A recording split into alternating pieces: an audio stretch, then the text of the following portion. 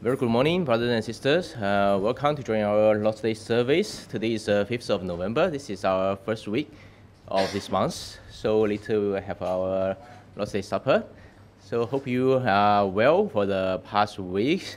And nice to see you again in person. And without further ado, I will invite our song leader, Brother Lemuel, to lead us uh, with uh, worship. Good morning. Good morning. All right, for first hymn, let's sing My Jesus Fair. Words will be on screen. My Jesus Fair. Let's stand, please. Five stanzas.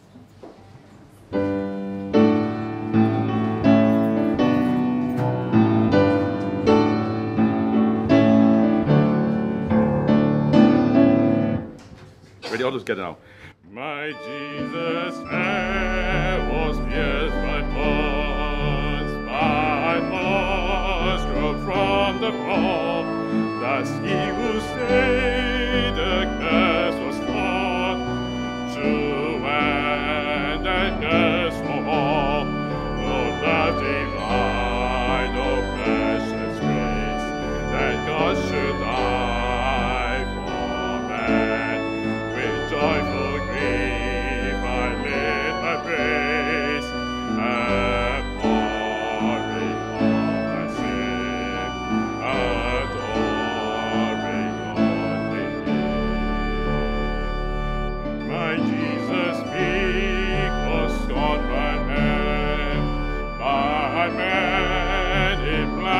blasphemy, Father forgive us as the sin.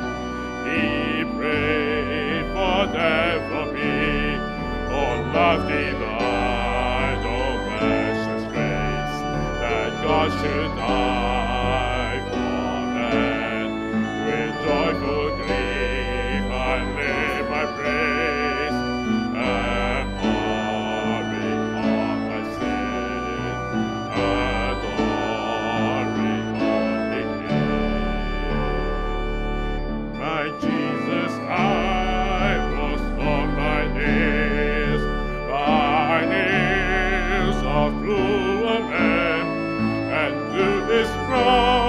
cross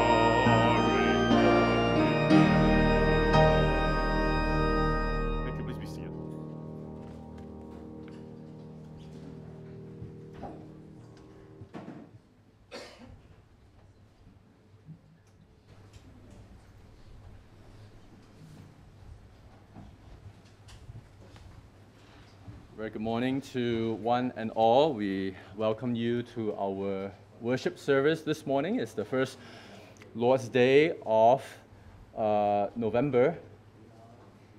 Time is flying, and uh, we are into our second last month of the year. You know what that means? Uh, the year is fast closing upon us. And on the first Lord's Day of every month, we do partake the Lord's table.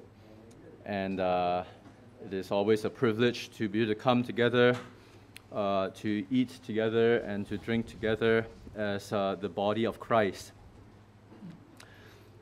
If you turn your Bibles to James chapter 1, James and the first chapter for our scripture reading this morning, as promised, um, we are going to begin this morning a new series in the book of James.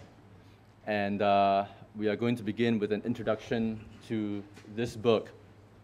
And so, as part of that uh, uh, endeavor, as we launch into this book, we are going to read um, the first chapter of the book of James. And as we always do, we will read responsively. I'll read the first verse, you will read the second verse, and we go back and forth uh, in that fashion, right through to the conclusion of this chapter. And we are reading from the English Standard Version of the Bible.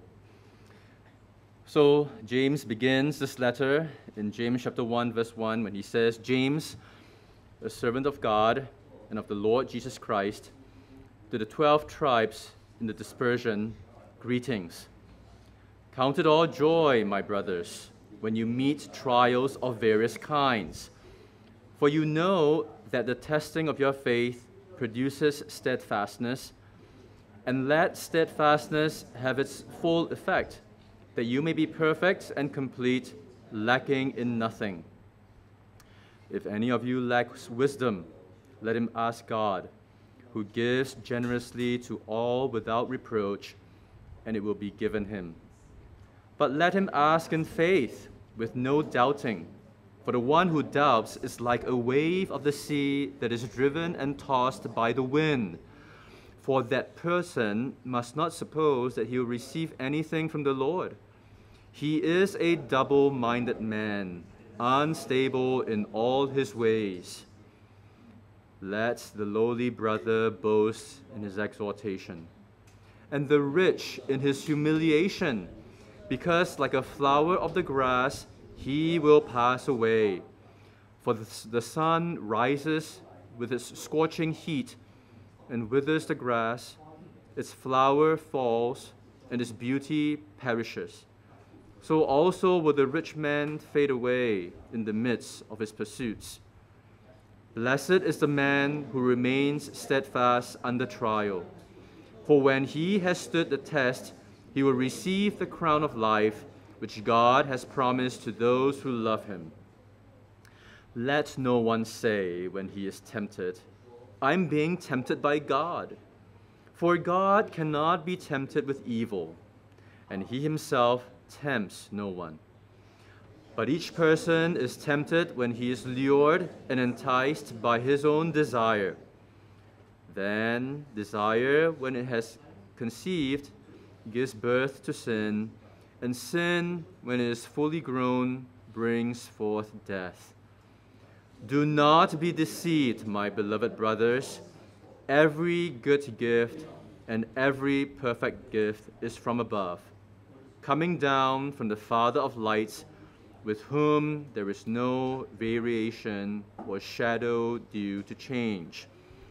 Of his own will he bring forth, forth by the word of truth, that we should be a kind of first fruits of his creatures. Know this, my beloved brothers. Let every person be quick to hear, slow to speak, slow to anger for the anger of man does not produce the righteousness of God. Therefore, put away all filthiness and rampant wickedness, and receive with meekness the implanted word which is able to save your souls. But be doers of the word, and not hearers only, deceiving yourselves. For if anyone is a hearer of the word, and not a doer, He is like a man who looks intently at his natural face in the mirror. For he looks at himself and goes away and at once forgets what he was like. But the one who looks into the perfect law, the law of liberty, and perseveres, being no hearer who forgets, but a doer who acts, he will be blessed in his doing. If anyone thinks he is religious and does not bridle his tongue, but deceives his heart, this person's religion is worthless. Religion that is pure and undefiled before God the Father is this to visit orphans and widows in their affliction, and to keep oneself unstained from the world. May the Lord bless the reading of His word this morning to our hearts. Let's go to our Lord in prayer. Heavenly Father, we come before you with a heart that is full of humble gratitude for all of the blessings that you have bestowed upon your children.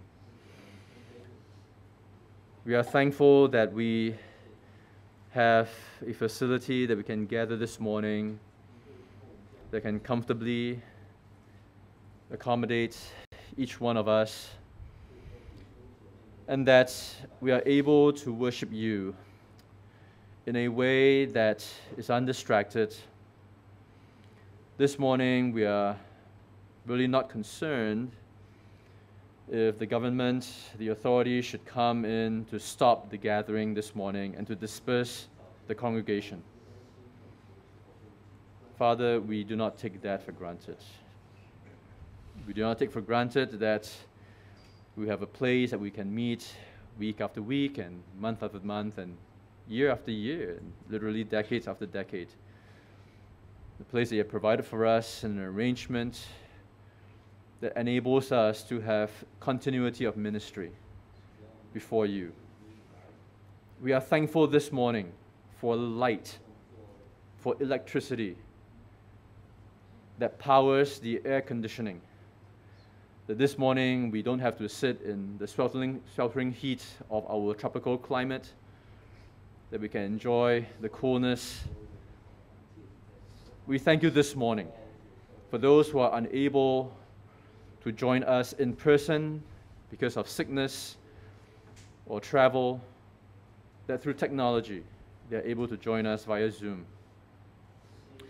And all these things that has enabled our service this morning. Father, we, we thank you for all of these are your gracious and wondrous provision unto us.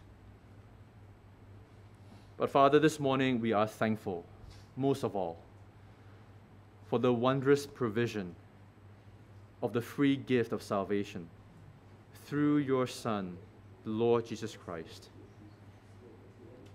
Father, that is the greatest of all blessing that we are so privileged to have. And if that is all that you would give us and nothing else, we would be of all people most blessed. So, Father, we pray that you continue to fill our heart with grateful praise. May all praise unto your holy name never cease because of all the things that we will enjoy doing when we are with you, when we are reunited with you, and with all the other saints who have gone before us into heaven. Praising your holy name is something that we will continue to do and in a sense, our worship this morning is but a rehearsal of that grand regathering of your people in heaven and eventually in the new heavens and the new earth, where your people from every tongue and tribe and nation will gather together with hearts and voices united in one voice, offering you the praises of thanksgiving and adoration. O oh Lord, what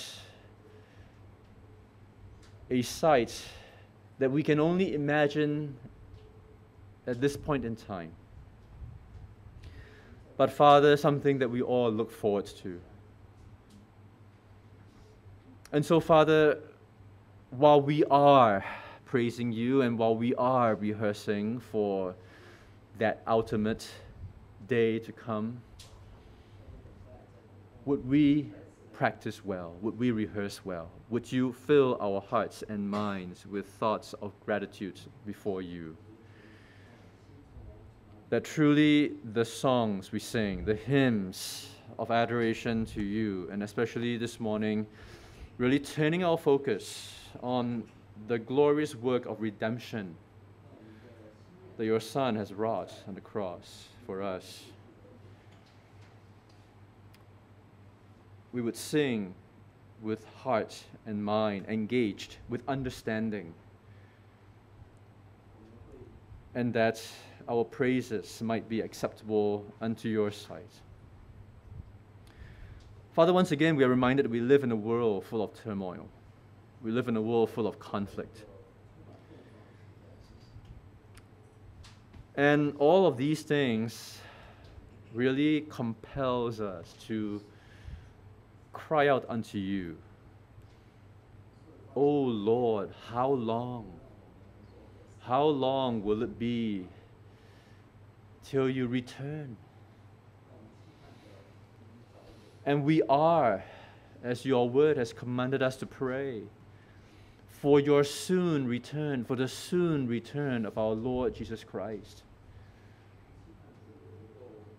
We observe that this world is just getting worse and worse day by day.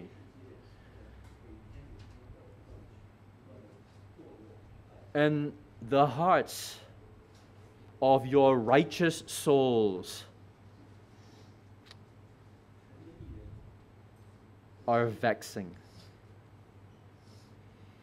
We are growing more and more uncomfortable each day living in this world. We are thankful we are but sojourners. This world is not our home, but we are just passing through. But meanwhile, you have called us to be your ambassadors, the representatives of the kingdom of heaven on this earth, representative of our great King of Kings and Lord of Lords. And so, Father, this morning we pray that while we are sojourning in this world, we would be the salt and light that you have called us to be, living lives that is worthy of the calling with which you have called us to live. Father, we so often fail. We so often do not have the realization that you are with us, that the presence of our God is with us. And the instructions from this book of James, as we look and as we examine ourselves, as we go through each of these instructions from Brother James, Pastor James, um, as we examine ourselves, we realize uh, how far short we have fallen. But we are thankful this morning that we have the grace of our Lord Jesus Christ. He alone supernaturally enables us to live lives pleasing unto your name. He alone supernaturally enables us to live out our faith And we are thankful because there is nothing in and of ourselves that, that would enable us to live such a way. And so this morning, Father, I pray you will fill us with your Holy Spirit. That as what we read this morning, that as we sit here and as we are hearers of your word, that we will not leave this place simply having heard a message from your word, but that we will leave this place being the, the doers of your word. That the Christian life is not something that we learn with our heads, but that it should affect our hearts and ultimately the works of our faith would be shown through our hands. It is a living faith. It is a faith that demonstrates itself in actions. And so far this morning, I pray that you would grant to us your grace this morning to hear and to do your word. We ask all this in your Son's most precious name. Amen.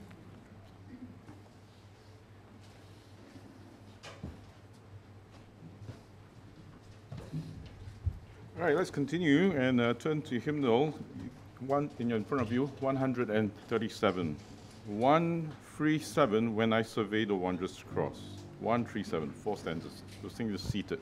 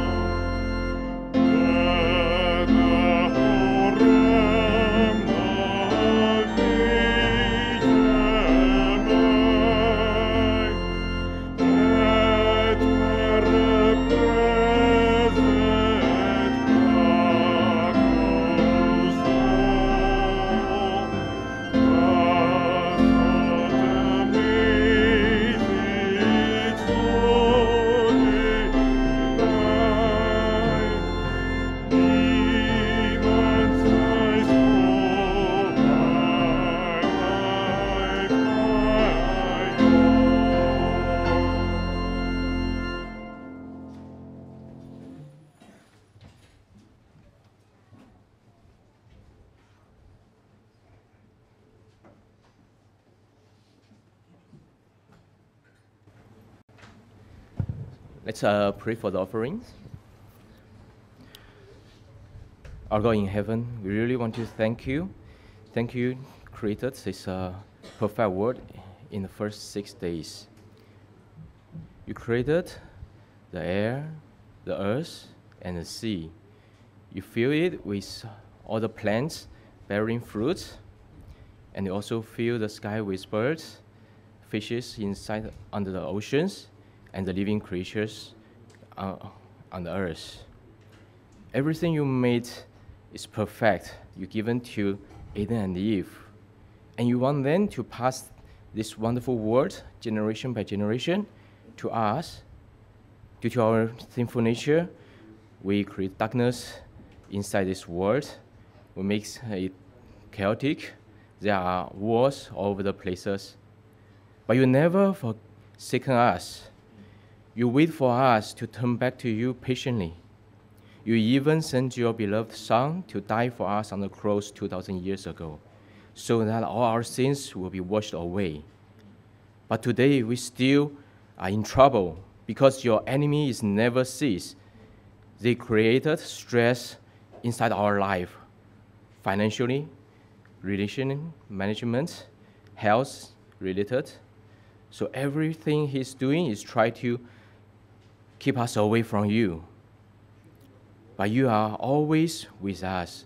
Your Holy Spirit is inside our hearts. Remind us you are our final protection. We can trust you. We can have faith in you. We can put all our burden into your hand. So we are gathered together today to worship you. We come in front of you humbly. We give all our praise to you and also our burdens into your hands and we trust you can bear for us. You can take care of us and give us peace in our heart. So here we really thank you for everything you've given to us because of your amazing grace. We don't deserve anything, but you keep us very well. You provide us our daily needs. You make us uh, strong spiritually to face all the challenges. You keep us safe and peace and grant us joy so that we can uh, face our daily uh, challenges. So here we want to thank you for everything you have done for us, and you always listen to our prayers when we are down, we are in trouble, and we continue to praise you for everything you've done for us. So here we want to contribute back to you as well to share what we have to the lost soul in the world who are still struggling without any direction because they don't know you. So through us, we want to show the world your light, your truth, and yourself. So to be used as a vessel to glorify your name. So continue to be with us, to guide us, especially when we are at the end of this year and we know there is a very important event, the Vacation Bible Study. That is a very good opportunity for us to really to show your to shine your light to the world, to the lost souls through the children. So continue to be with us and guide those lost souls to our church so they can know you and to be used to also show your glory to their parents as well. So continue to bless this church, continue to give us uh, everything that we need to make things successful and to for your own glory. So we thank you that you have done all of everything for this uh, small church, and will always guide us. We praise all this in Jesus' most precious name. Amen.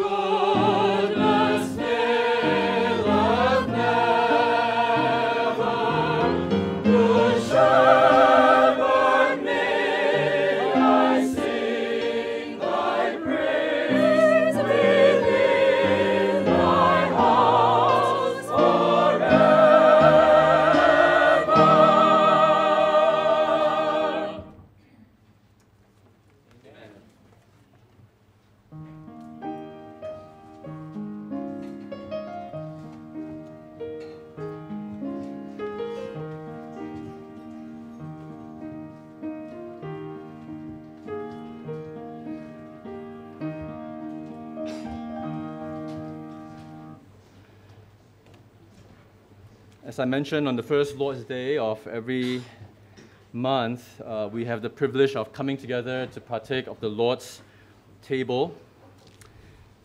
And once again, we are reminded of how good our shepherd is in leading us, in guiding us. Perhaps you have come through a period of affliction, and that as you um, think about what the Lord brought you through, you can see. Let's just hold off on the, the distribution. Maybe we'll distribute during the examination. Yeah, thank you. Um, but that you've seen the hand of the Good Shepherd leading and guiding um, you through a time of affliction. Maybe you are going through something right now. You're in the middle of affliction. And you are praying for the grace of God to deliver you from what you are going through right now. May the Lord really do show that He is that good shepherd to you, as uh, the choir just reminded us this morning. But the good shepherd gives good gifts to his people, and the most amazing and the greatest of all gifts that we have received of the Lord is the free gift of salvation. Um, I mentioned last week in our message on Reformation Lord's Day that we do nothing to deserve it. We do no work of our own to contribute to this free gift, which makes it even more remarkable. But that if you have done something to deserve this gift, well, it is not so free as a gift anymore. You have to work for it. And, and I think in all of us, in our human instinct, we, we, we, we want to be able to pay for what uh, we receive. Uh, if we are independently minded and we are, we, we, we obviously are not trying to depend on other people to provide for us.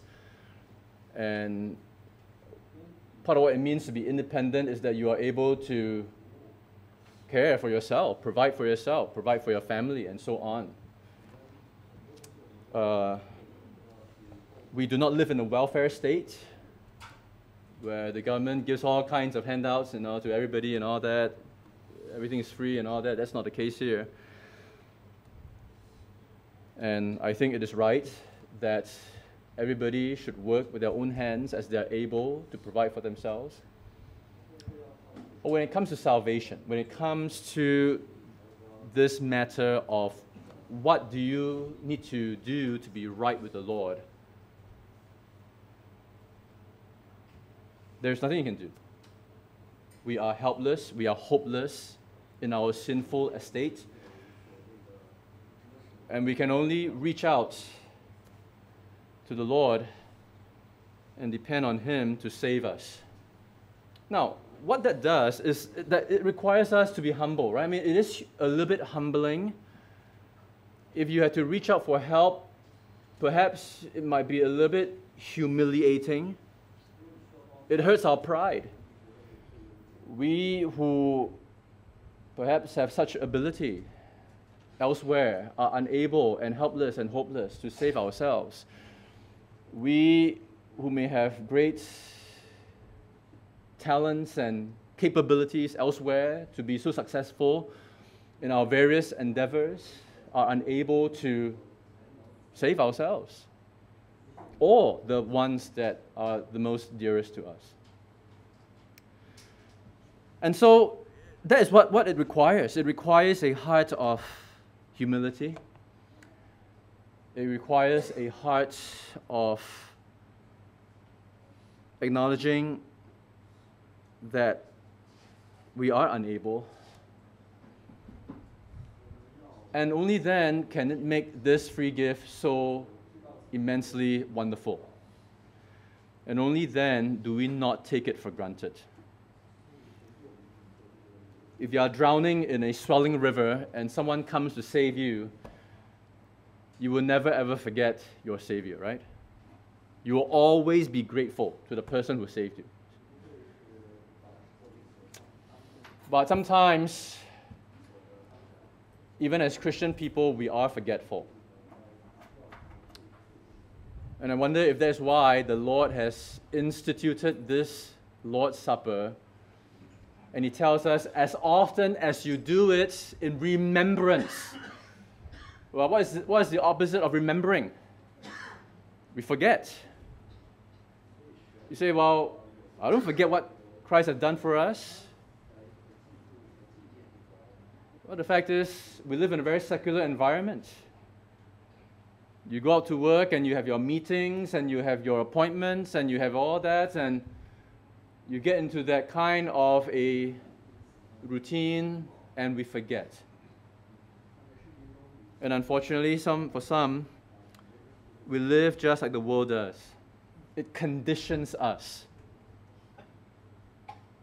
And like Lot with his family in the land of Sodom and Gomorrah, they are conditioned into the culture and the worldliness of their day. And so the Lord, in His gracious wisdom, instituted the Lord's Supper to remind us daily, to remind us as often as we eat this, of what He has done, of the gospel of the Lord Jesus Christ, of what He has done for us on the cross. So we are told to examine ourselves. Where are you today? Let's say, you know, where are you today compared to where you are five years ago, or even 10 years ago? Do you remember? Are you in a better spiritual condition than you were seven years ago? Eight years ago?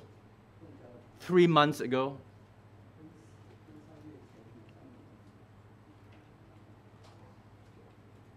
Where are you spiritually?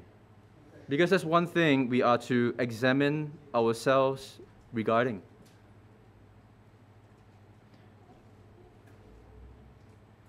James writes to people who claim to be Christians, and he says, Are you actually living out your faith? And unfortunately, we can only pretend for so long before we can either fizzle out or whatever, some things takes us out. We can only pretend for so long. And unfortunately, as a pastor, I've seen that over and over again. True faith perseveres to the end. And yes, there may be periods of ups and downs. But as we examine ourselves regularly, we need to, okay, this is where I am right now. You, right? you put an X, right, to mark that point. I was up here the last, you know, three, three months ago, but now I'm down here. Why am I down here now? What can I do to get back up here? You're always plotting that, that, that, that course. Where are you? And that's one thing that Paul challenges us to do regarding examining ourselves regarding sin and all that. If not, what we're about to do just becomes a real meaningless process. We just say, oh, you know, let's just get this over and done with. Let's get to the real stuff, right? But we have a responsibility to examine ourselves. If not, we'll be guilty of eating the bread and drinking the cup of the Lord in an unworthy manner.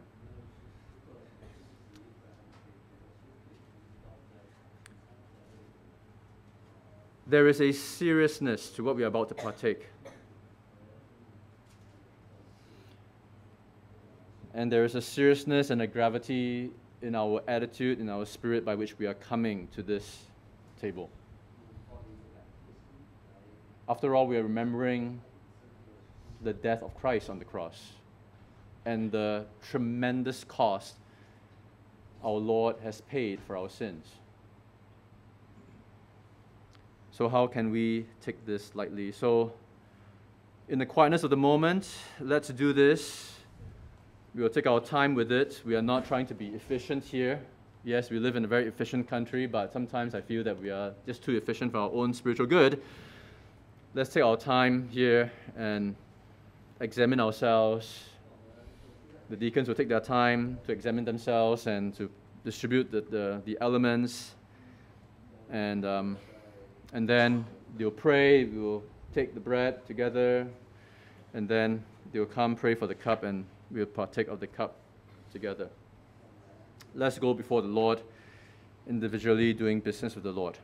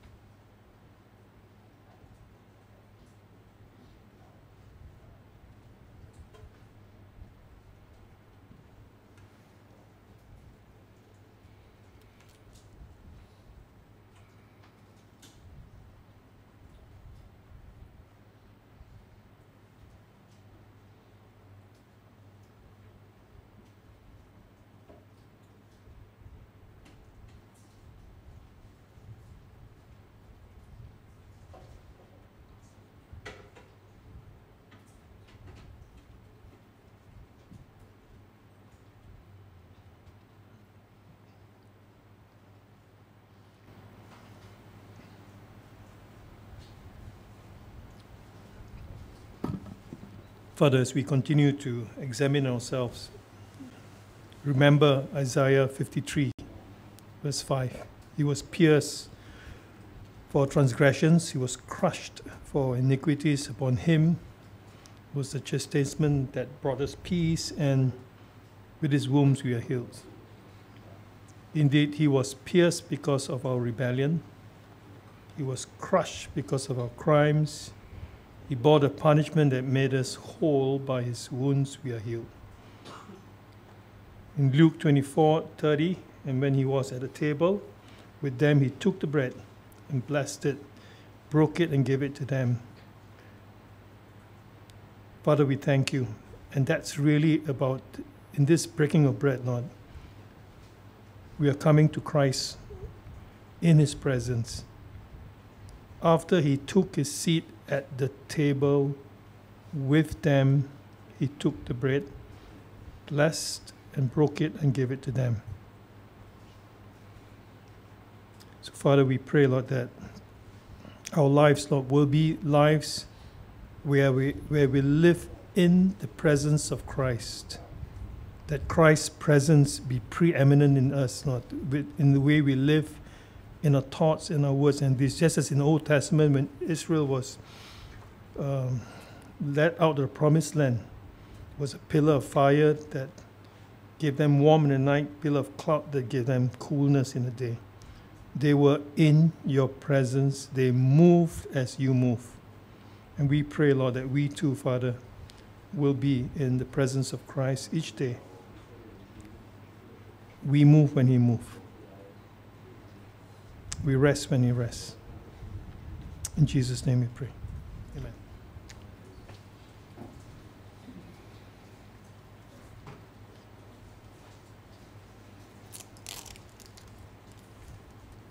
Apostle Paul writes that he received from the Lord what he then delivered to the Corinthian believers and to all of us as believers that when the Lord Jesus Christ, on the night when he was betrayed, he took bread.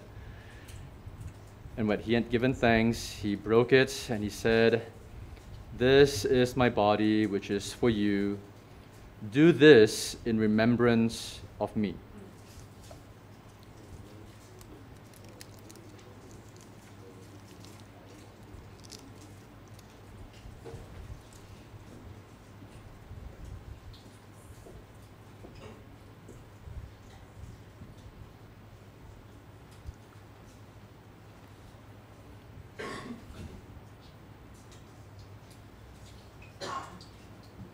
Dear Heavenly Father, in the book of Ephesians, chapter 2, verse 11, starting from verse 11, it says, Therefore remember that at one time you Gentiles in the flesh, call the uncircumcision by what is called the circumcision, which is made in flesh by hands. Remember that you were at that time separated from Christ alienated from the commonwealth of Israel and strangers to the covenants of promise, having no hope and without God in the world. But now, in Christ Jesus, you who once were far off have been brought near by the blood of Christ. For he himself is our peace, who has made us both one and has broken down in his flesh the dividing wall of hostility by abolishing the law of commandments expressed in ordinances, that he might create in himself one new man in place of the two, so making peace and might reconcile us both to God and with one body, in one body through the cross, thereby killing the hostility. And he came and preached peace to you who were far off and peace to those who were near. For through him we both have access in one spirit to the Father. So then you are no longer strangers and aliens, but you are fellow citizens with the saints and members of the household of God, built on the foundation of the apostles and prophets, Christ Jesus himself being the cornerstone, in whom the whole structure being joined together grows into a holy temple in the Lord. In Him you are also built together into a dwelling place for God by the Spirit. We thank you, O Father, that it is through your blood, through the cross, that we can become one with you. Thank you. In Jesus' name we pray. Amen. In the same way, our Lord took the cup after supper, saying, This cup is the new covenant in my blood.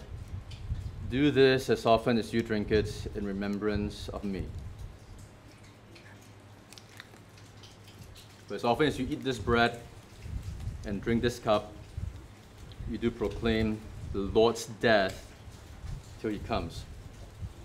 Okay, Brother Lemuel lead us in the final hymn before the children are dismissed for Children's Church.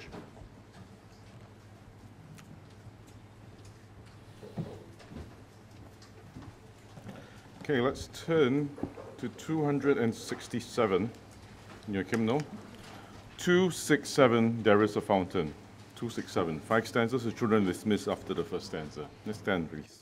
267.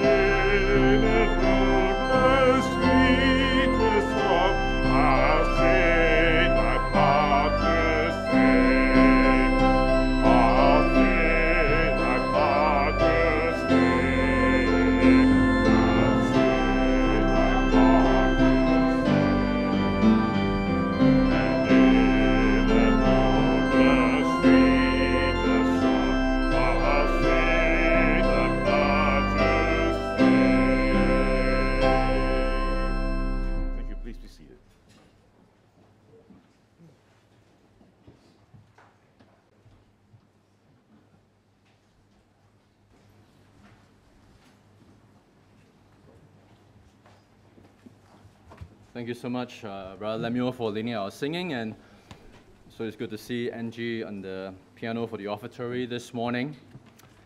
Uh, so wonderful to see even the young ones begin to serve the Lord uh, in uh, offering of themselves and how they are grateful to do that. And it is a real uh, blessing to all of us to see that as well. If you open your Bibles to the book of James, James chapter 1, and you will see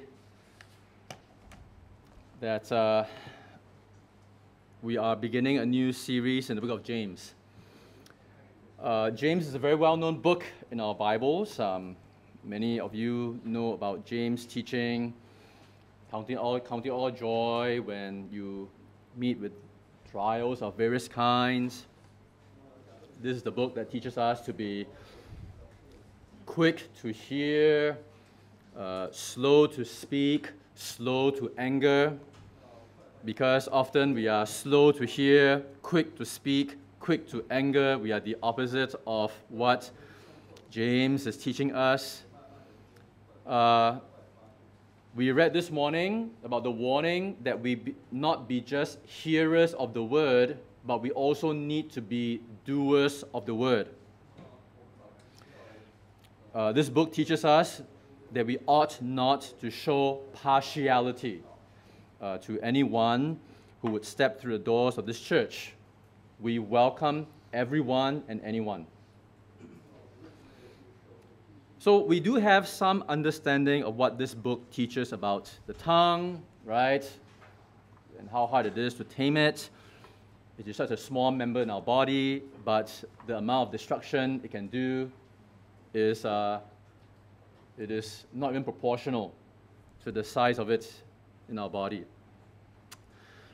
And because of how practical this book is, this book is well beloved by many. And I think it is in part about regarding who this author of this book is. James, as you may or may not know, is a pastor. He is a pastor of the church in Jerusalem.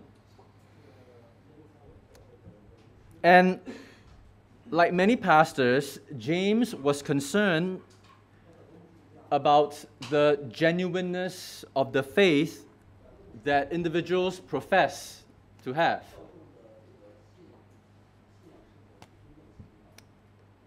I would definitely identify with the burden that James has. And a big part of his letter deals with exhorting those who profess faith in Christ. And they say, okay, you claim to be a Christian, all right, you claim to be a Christian. Let's see you live out your faith. And if you were here last week, we actually, it was a transitional sermon. I wanted to you know, look at what the passage, the Bible says about, you know, really the, the, the linchpin of the Reformation, which is how can a person be right with God? How can a person be just before God? And we went to Romans chapter 3 to look at what that passage teaches. It really is the foundational passage that we ought to go to, all right, to learn about what the Bible teaches about how a person can be right with God. But if you remember last week, we also went, we also went to James. All right, so Paul says that Abraham was justified by his faith alone, and James says that Abraham was justified by his works. And we say, how can there be this contradiction? And we concluded that there is no contradiction because both Paul and James, they were arguing and they were defending different truths. For Paul, he is standing at the front of the door, all right, and he's saying, okay, how can you be right with God None of your works can justify you, none of your works can save you. And then James is stepping behind and he's looking at the other side and he says, Okay, you all who claim to be saved, and you all who claim that you are in Christ, are you truly saved? Because true faith evidence itself in works, works of salvation. So these two individuals, these two authors of the Bible, uh, are really arguing for different things. We will get to chapter 2 in time, and we will spend more time in there. But you will see that James is arguing for a faith that works. For a faith that works. And that you saw in the title slide this morning. But we are going to introduce ourselves. Look at the book of James here, having an author it may surprise many believers that even though James is placed near the end of the New Testament, because it is grouped with the other, what we call general epistles, okay, general epistles are letters that's not written by Paul. You have the Pauline epistles, and, and Paul wrote 13 of those letters. But then you have these letters written by James and John and Jude and so on, okay, and whoever wrote the uh, letter to the Hebrews, we, uh, we are not told. But actually, this is actually one of the earliest books, if not the earliest of the epistles, written dated about 45 to 50 AD. And as such, this book gives a unique window into early Jewish Christianity. This book is written by James, who is the half brother of Jesus. Uh, Mark chapter 6, verse 3 tells us that Jesus had other half siblings James, the author of this book, Joseph, Judas, and Simon. Now, James was an unbeliever during the earthly ministry of our Lord. Uh, John chapter 7, verse 2 to 5 describes how his brothers told Jesus to go to Jerusalem as it was a feast of booth, feast of booths, because no one works in secret if he desires to be known openly. So they were kind of like, you know, kind of mocking him and says, well, you know, you want to be known, right? I mean, you you want to be so, so, so famous? Well, go to Jerusalem where you will be known.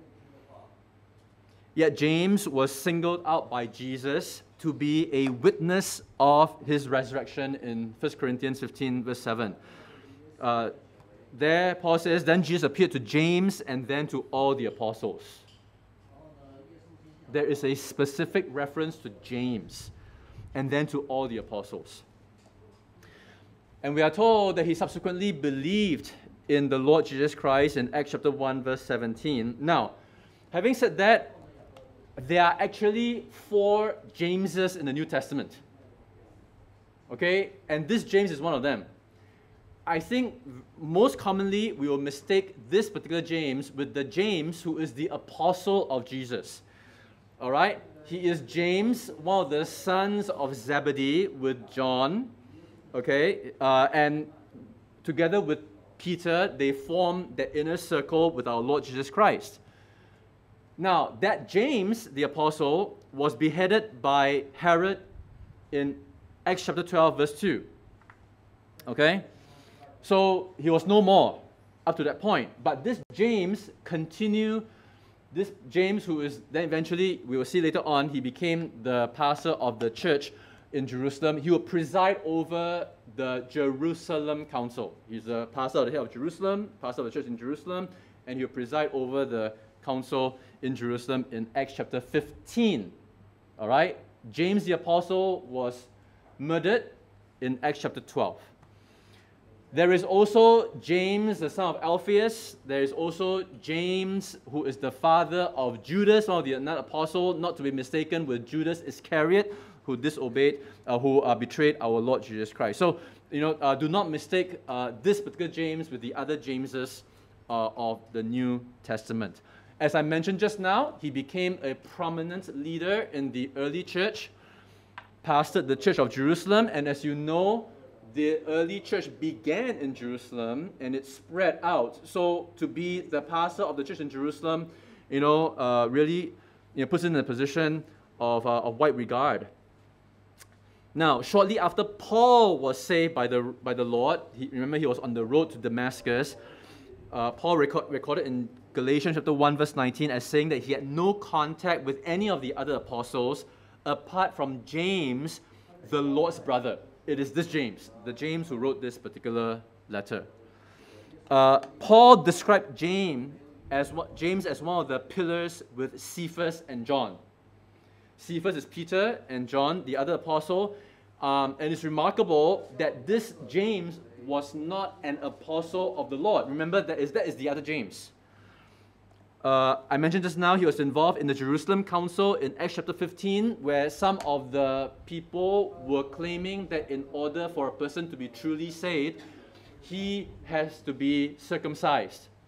That was one of the things that they were dealing with. And, and other Jewish practices, whether those were necessary in order for one to be saved. He gave counsel as to how to handle the issues that necessitated the meeting. And then Paul would actually depart from Ephesus. Remember, he was talking to the Ephesus elders in Acts chapter 20 and in 21, verse 18, he met James in Jerusalem. So, uh, this James, the pastor in the church of Jerusalem, had really close relationships with the other apostles Cephas, Peter, uh, and John, and even Paul. All right, and he, in fact, you know, uh, uh he was one of the earliest believers, that uh, leaders that Paul met with even before he met the other uh, apostles. Now, who was James writing to? If you look at chapter 1, verse 1, we are told that he wrote to the 12 tribes in the dispersion. To the 12 tribes in the dispersion. Now, who would be the 12 tribes? Those would be what kind of people? The Jews, right? The Jews. And these are Jewish believers in the dispersion. What does the word disperse mean? They were scattered and they were spread all across uh, the region.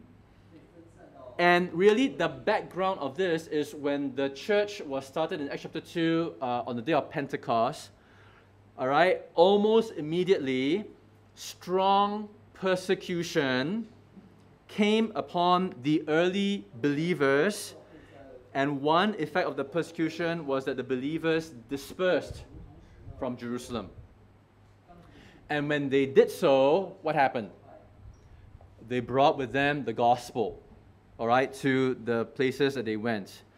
So, if James wrote during, you know, around 45 to 50 AD, he was writing literally 10 to 15 years after that first Pentecost.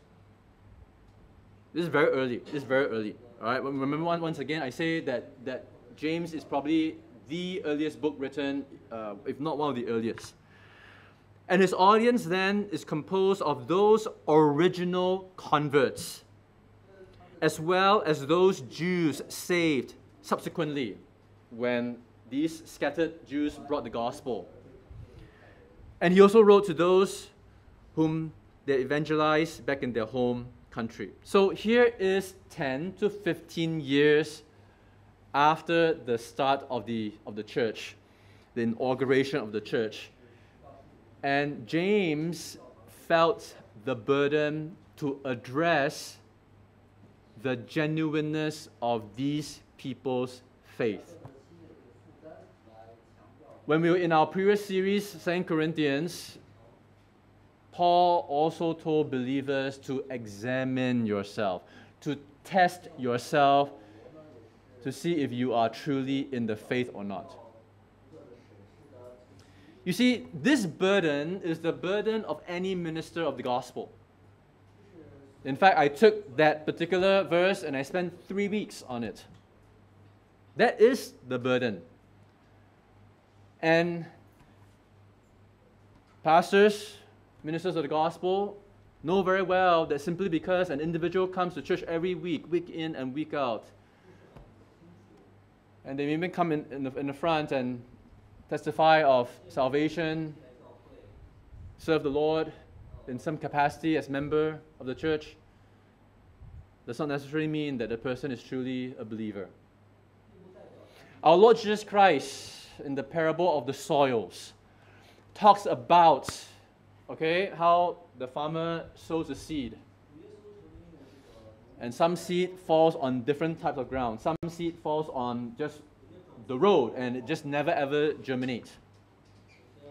But there are some seed that would fall into the soil and for a time it seems to sprout and seems to do real well, but when the root hits some rock, they experience certain trials and all that, and what happens to that plant? It withers. And other seed falls onto good ground, and they bear much fruit 54, 100 fold, and so on not every seed would fall onto that kind of fertile soil. And James is concerned to address okay, you claim to be a Christian, and you may even claim that you, know you strongly believe that you are saved by faith alone, through grace alone, in Christ alone, not of works. Okay? Yes, Nothing you do gets you through the door of salvation. But now that you are saved, you are in Christ, are you still living as if there is nothing for you to do? Are you still living in a way where you're ignoring all of what the scripture teaches regarding how we ought to live? Now, let's talk about some distinctive that sets this particular letter from other New Testament letters. First of all, we see a strong Jewish orientation. Remember, James is writing to the 12 tribes of the dispersion. These are Jewish believers. So you will see terms like the way he uses. He says in, in chapter 5, he uses this term, chapter 5, verse 4. Uh, if you look uh, towards the end there, the term the Lord of hosts. All right, that is the Lord of Sabaoth. It is an, a distinctive Old Testament title for Yahweh. And James is the only New Testament writer to use this title. The only other time it appears in the New Testament is a direct quotation of the Old Testament, and that is found in Romans chapter 9, verse 29. Secondly, there is a repeated emphasis on the law as a synonym for the word. And you will see that, I mean, you see that all over. Uh, for example, in chapter 1 and verse 25, James says, But the one who looks into the perfect law, the law of liberty, and he's using the law to describe the word of God. If you look, so you can say this way if you look into the perfect Word of God, all right, which liberates and, perse- uh, and, and perseveres, all right, you'll be blessed in your deeds, and so on.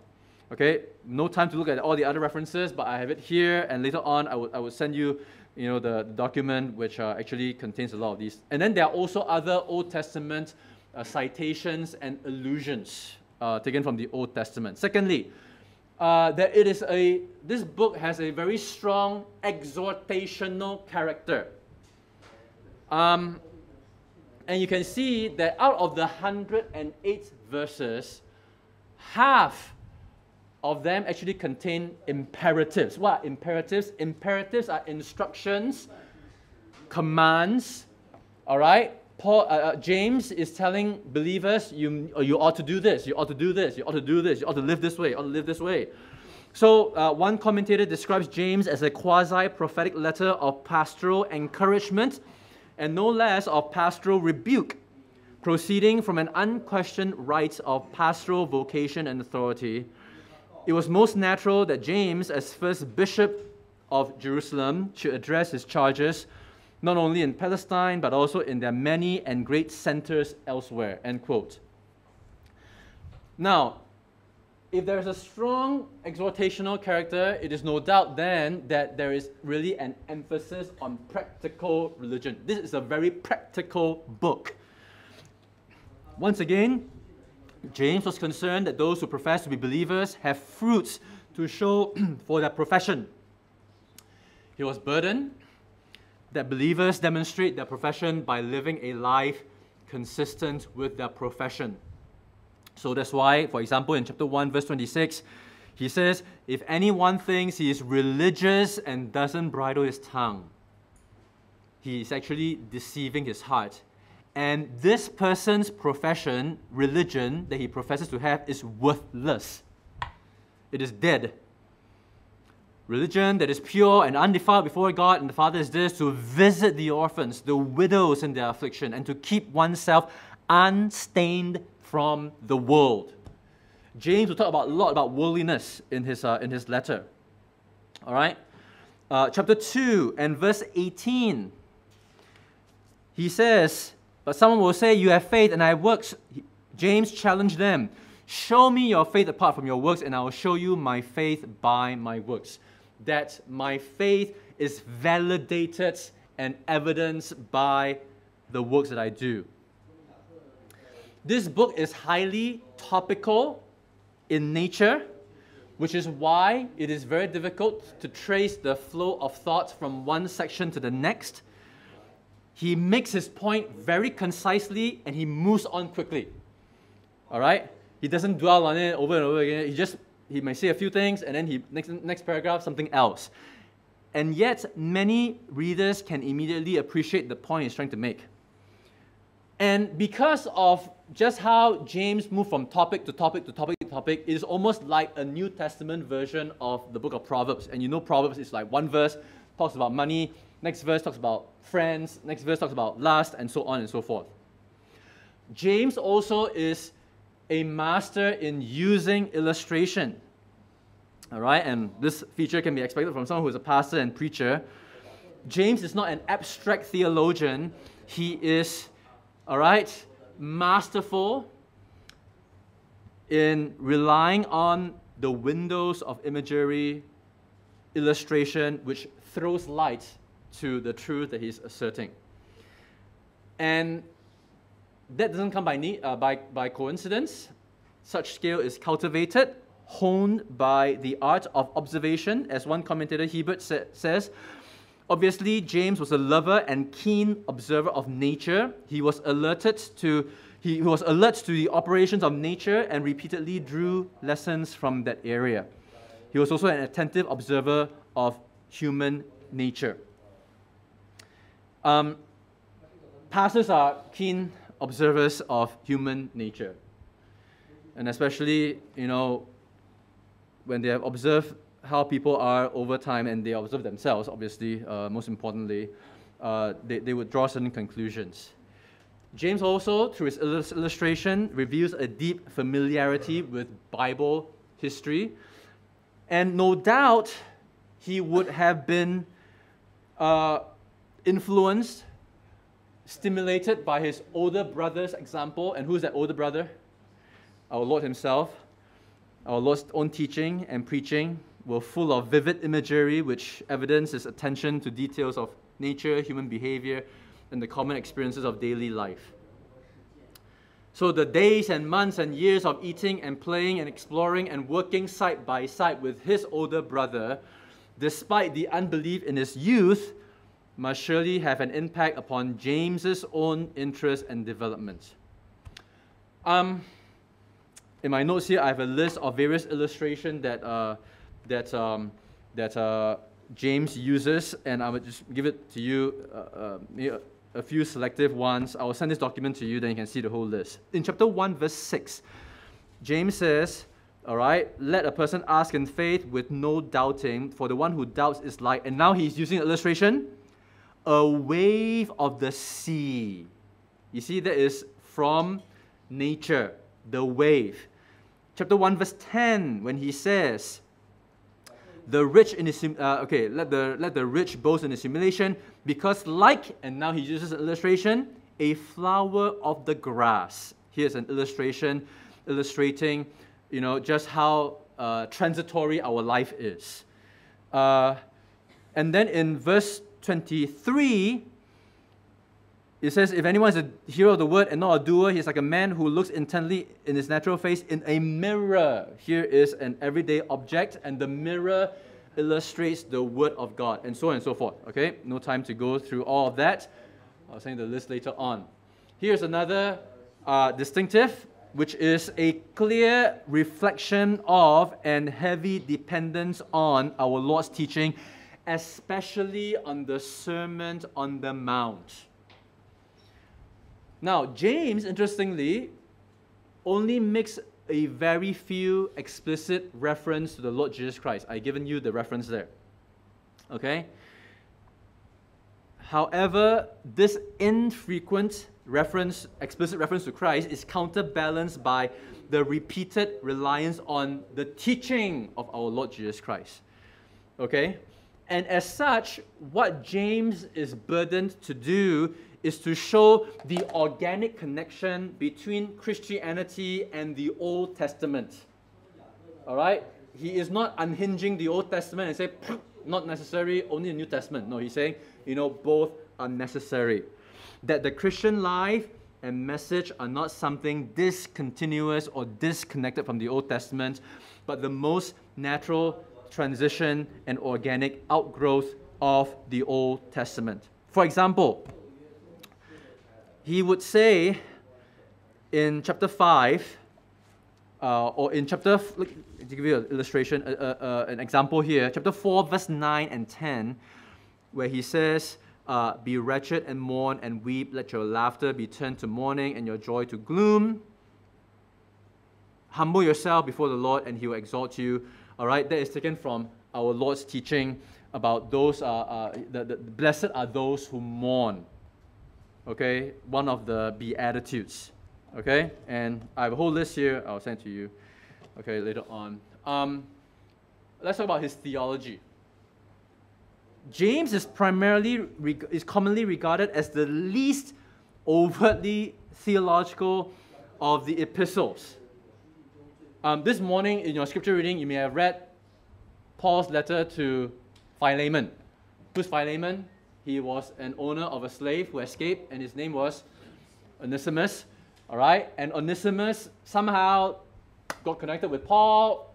The Lord saved Onesimus, and he was working alongside Paul for a period of time, and Paul felt that maybe Onesimus as well, that it's time for Onesimus to return to his master. They probably had a discussion about it, and Paul says, Okay, I'm going to write to your master, master who is a believer that he knows of all, you know, of all the people that you know is the master of Onesimus. And um, he wrote to uh, Philemon to say, Would you receive this slave of yours back? And I want to tell you that now he's a dear brother in Christ. If there is any financial loss you incur because of his escape, you know, put it on my account. I'll pay you back. All right? But apart from that, um, James really, you know, is, is, is, is the least overtly theological. Um, the commentator uh, Edmondson uh, uh, noticed, quote, we should not be surprised that the epistle of James does not even seek to outline all the essential doctrine comprised in the Christian faith because, like Paul, he is addressing those who are supposed to know the rudiments of Christianity. And his aim in the first Christian epistle, as in the Sermon on the Mount, which is the first sermon of Christ, is to set forth the theonomic life in its essentials that is, life lived according to God's law. James' task is mainly practical to help true believers live up to their faith. All right, so James was not addressing really the lack of faith or what to believe, but rather the lack of practicing how to live out according to that knowledge. So, James is telling us look, Christianity is not something that you fill your brain, fill your mind, and all that about, and it just stays there. But it is how does it go from your head to your heart and out through your hands? How, you know, uh, we would say Christianity is not just coming to church on Sunday, and even that, I think some people are having a hard time, you know, doing so. It is not just coming to church on Sunday, but it is how you live out your life on Monday and Tuesday and Wednesday and Thursday and Friday and Saturday when you are not in church. The issue for James was not knowledge of theological truth, and I think in our church, I trust we will have a robust theological understanding of the Word of God, but translating the truth that they know and profess into daily life. It is, it is where, you are, where the rubber meets the road, where you are living out your faith. The explication and the application of the theology already held or professed. So, therefore, the need was not a systematic theology for confession, but a devotional theology for living. And I use the word devotional in the noblest sense of the term, a theology that approach uh, a theological approach to life that would express genuine devotion to the correct theology that you profess to hold to. Now, that does not mean that James is non theological in content or value. Every practical exhortation is rooted in, implicitly or explicitly, in the foundation of theological truth. So, what are the major theological topics addressed by James? Well, with God, James would say that he is generous, he's holy in nature and behavior, he's immutably good, he is sovereign in salvation, he is the Father. God elects. He is the only true God. He is the maker of mankind in his image. He opposes the world and the proud. He is sovereign over life. He is just and, un- and he is aware of injustice and he's compassionate. Okay, all, all of those I have Bible reference to, but once again, I'll send to you. When it comes to sin, James describes sin's operation, its dangers, its definition, its manifestations, including the variety of sinful expressions addressed in nearly every topic, a subcategory of sin and its manifestation. All right? That he actually enunciate is the concept of worldliness. And we generally associate this level of attention to the phenomenon of worldliness with the much later writing of John. All right? And you all know sec- uh, uh, 1 John 2 15 to 17, right? Love not the world, none of things in our world. Well, James, as the first, one of the first epistles, was already addressing worldliness. All right? And if James writes very early on and John writes later on, and both of them are concerned about worldliness in the life of a believer, you can see how this is a constant struggle for believers living in this world. We are in this world, but we are not of this world. We are living in this world, but we are not to be so enamored with the priorities of this world that is anti God, anti biblical, and so on.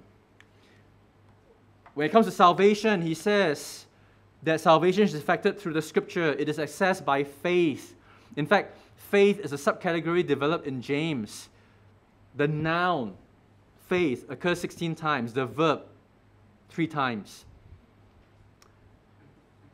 And then, when it comes to salvation, James equates justification via imputation of righteousness. Again, this is a little surprising. We generally associate this level of soteriological sophistication with the later writings of Paul.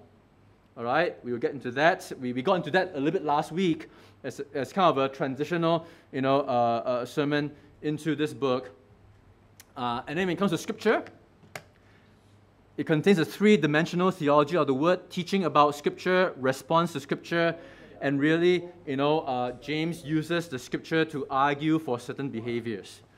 And then finally, eschatology. Uh, he will talk about final reward, final punishment. Uh, and uh, he continues to, to, to, to call believers to look towards that final time that we stand before the Lord to give an account. Topics, various topics so I mentioned just now that James' organization is more topical, less progressive, and organic, except organic in the sense that all of it sprouts out of the soil of how a genuine faith manifests itself. James consistently punctuates his transitions from topic to topic by beginning with an opening appeal to his audience. Usually he will say, My brethren. Okay? My beloved, and so on and so forth. He will, he will begin this way, and then the instruction comes. Okay, so here is, I'm going to give you kind of the outline of a general outline of this book. Uh, as you know very well, he begins by talking about uh, trials and suffering and temptation. All right? uh, how to endure and understand them. For a Christian, we'll just say that suffering is not meaningless. I was communicating with someone this week, and you know, uh, he's an atheist, and you know, he was talking about you know uh, uh, uh how you know suffering has no meaning. I say for a Christian, suffering has a lot of meaning. All right, and one, one of which is to grow our faith. He talks about hearing and obeying the word in the second part of chapter 1. In chapter 2, he talks about faith and prejudice. You know what that word means, right? We have the word discrimination and so on. Okay? The way you live out your faith is living it out in a way that is fair. Okay? How do you exercise your faith? Okay? And so on with the people that come in through the doors. Then later on, he talks about how that you ought to demonstrate a faith that works. So that's the second chapter. We all know chapter 3, the first part, talking about the tongue, the speech, okay, is power for good and evil. He's going to end with talking about two kinds of wisdom wisdom that is from heaven, and wisdom that is what we call worldly, worldly wisdom. The characteristics of these two kinds of, of, of wisdom. And then he will talk about how when we come together, there's conflict, there's wars and fighting and so on. You, you do not have because you do not ask, and do not ask because you ask amiss and so on. There he, there's emphasis on worldliness, there's warfare against God. All right, he talks about uh, uh, judging others, all right, the criticism of others. And when you make life plans, which some of you are very into doing, all right, there is submission versus presumption. Okay? Uh, you who say, oh, I have this plan, this plan, and all that, okay, he wants us to think biblically regarding um, the plans we make. He will talk about wealth, the folly of trusting in riches. Okay, chapter 5, verse 1, he says, You rich, you who are rich. And he talks about then the coming of the Lord, and he says, Be patient regarding that and then ending with personal integrity, methods of personal integrity, practical prayer, and converting the brethren. All right? So, just kind of uh, uh, whirlwind through the theme. Once again, you know, uh, you receive this particular document. When it comes to the theme of James and the application, how would we describe the overall theme or burden of James' epistle? What exactly burdens him to write? What did he intend to accomplish? Actually, I mentioned this over and over again. James is describing what a living faith looks like. Okay? Have you heard of people use this term he is a practicing Christian. I get a little bit puzzled by that. As in, there is a non practicing kind of Christian? No, no, no. There is only one kind of Christian, a, a true Christian who practices his faith. There's no other category. Okay? Uh, as in, there's practicing Christian, non practicing Christian. What, is that? Well, that is an unbeliever, actually. And James is telling us a, a non practicing Christian is an unbeliever he is burdened to describe how a believer ought to flesh out an authentic faith and how to translate faith from profession, you come through the door, and now you're in, to practice. All right? From words to works. You know, you know, some people say, right, you know, don't, don't talk so much. Show it to me by your works. Right? Some people, they are very good. Oh, I'll do this. Uh, you know, they, they have a lot of words. But when it comes to work, it is very meager. Right? Your army says, what, what the army say? Uh, eye power what? Um, don't talk so, I can't remember. You know, it's been a, a, while since I was there. But something about, you know, don't, don't, you know, don't talk so much. You do, someone help me, you know, if you are, huh? Uh, no action talk only, yes, no action talk only. Mm. Okay? So don't be that way. Uh, so one commentator describes James as pro- uh, providing tests of a living faith. tests of a living faith. He says, this commentator says, the root difficulty of the readers lay in the distorted conception of the nature of salvation by faith and its relation to daily life. Okay, some, some people think, I, I, I, I, I'm sure, I do no works to contribute to my salvation. And after they are, they are saved, they also say, I do no works. They, they just live the, the, the way they, they, they, they, they have been living. There's no change. There's nothing, you know, there, there, there's nothing in their family life that shows that they are Christian and so on. All right? So, so he says, this is a difficulty. How do you validate your genuineness, the evidence of a, its life transforming nature? James is not interested in works apart from faith, but he is vitally concerned to show that a living faith must demonstrate this life by what it does. Another writes, This entire epistle deals with Christian faith. It shows how it is that this faith should be genuine, true, active, living, fruitful.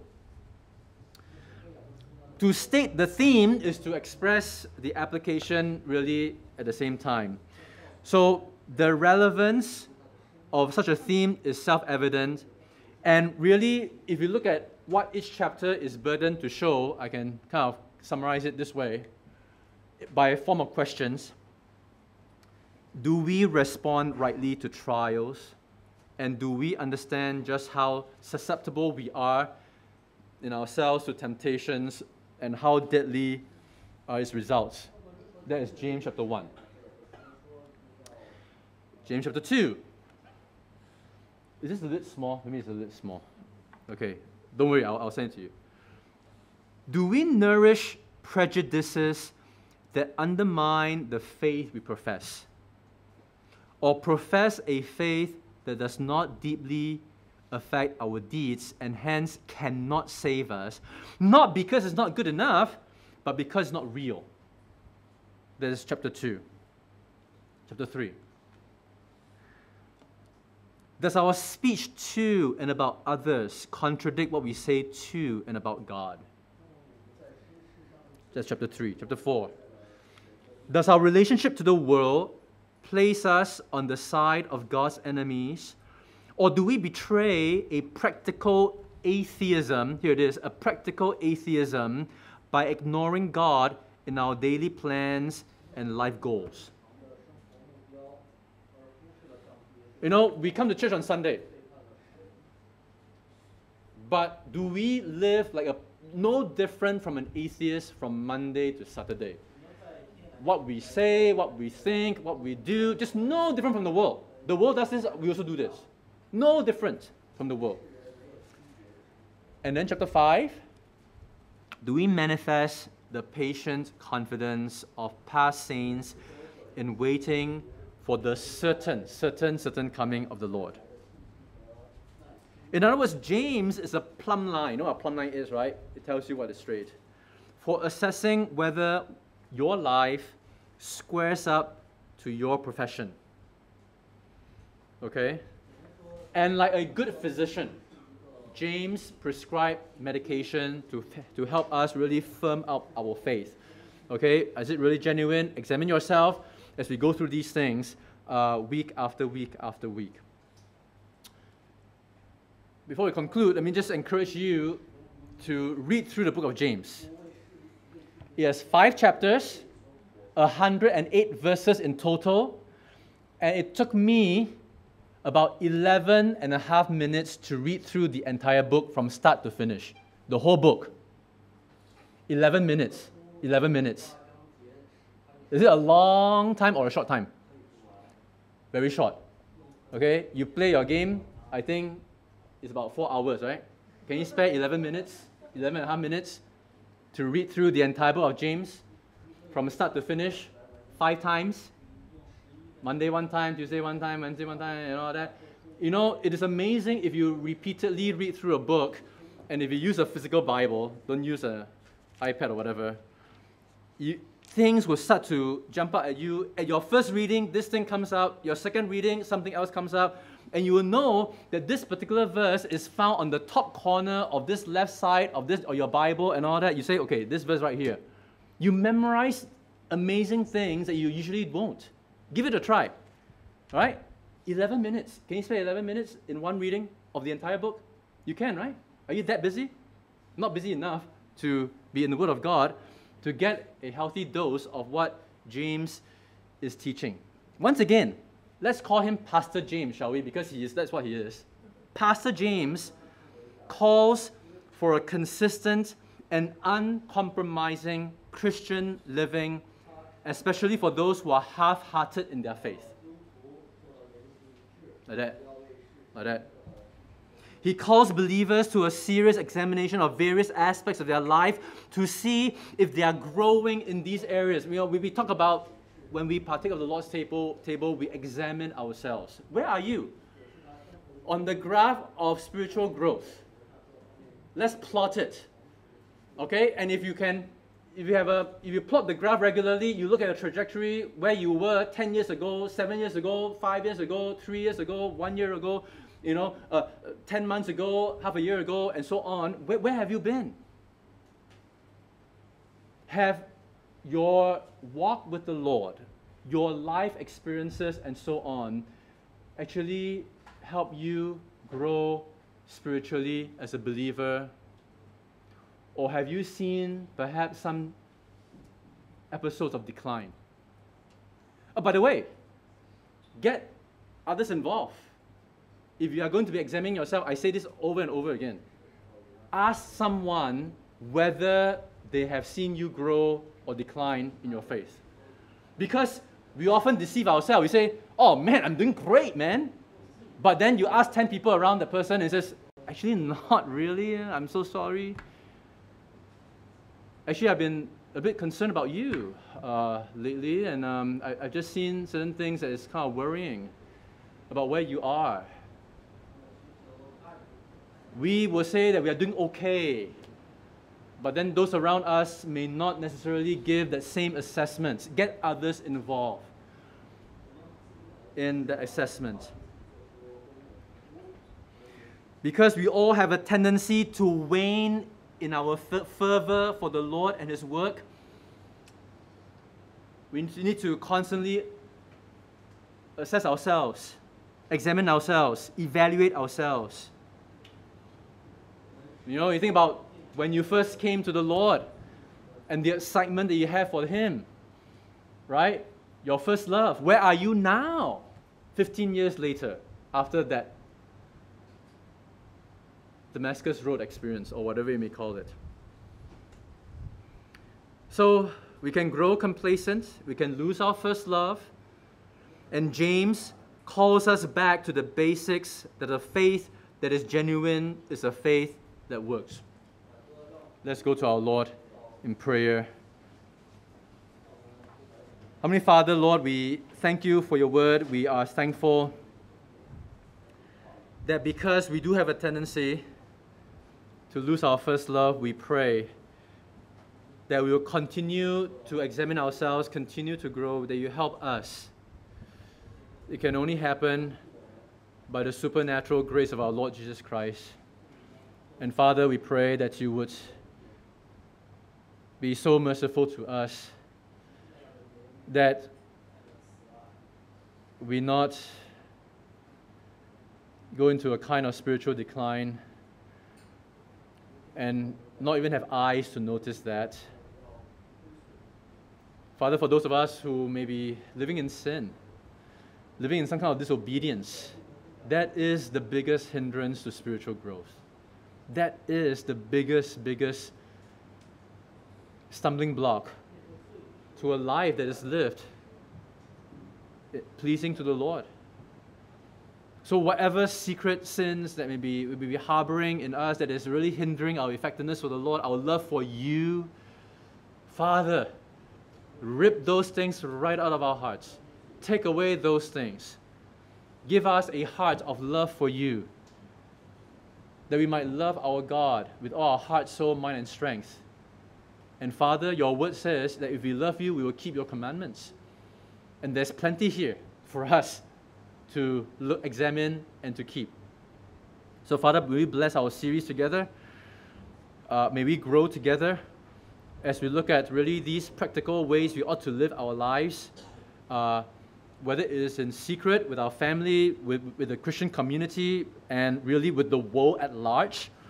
I pray that you will uh, bless our study and that at the end of the day, may we not just be hearers of the word, but doers.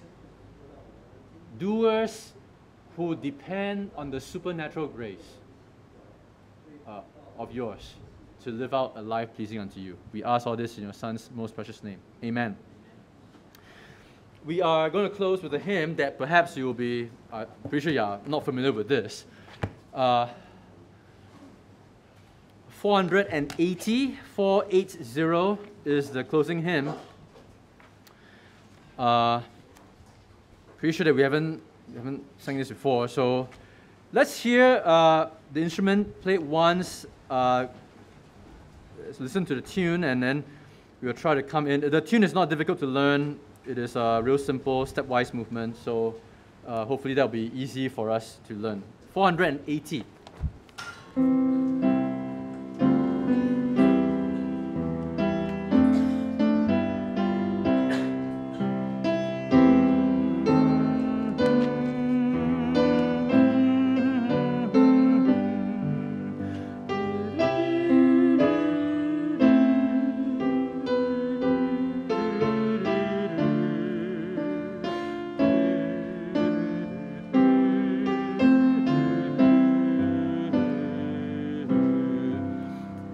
Together. We'll take it a little bit slow just so we can uh, be familiar with uh, the tune as we move through.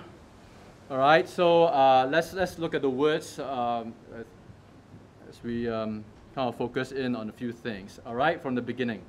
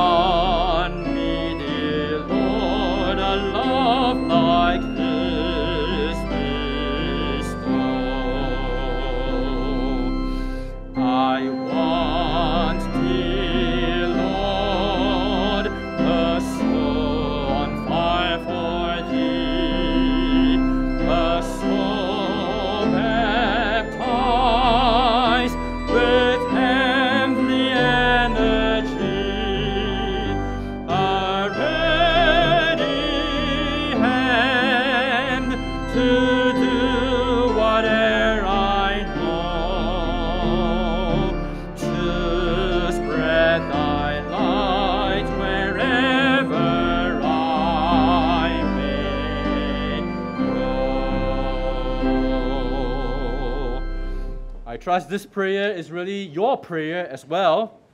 And um, do you think the Lord will answer this kind of prayer?